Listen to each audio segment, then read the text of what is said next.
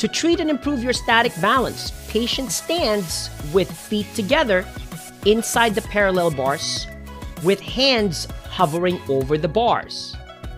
If you are to do these static balance tasks or exercise at home, it can be done in front of a wall corner with a chair in front of you for safety. While maintaining this position, head nods are performed for 10 to 20 reps with the eyes open, then closed, progressing from slow to fast paced. This is because multitasking can enhance your static balance and plus, it simulates normal daily activities. After that, head turns are performed for 10 to 20 reps with eyes open, then closed, progressing from slow to fast. If without loss of balance, then a modified tandem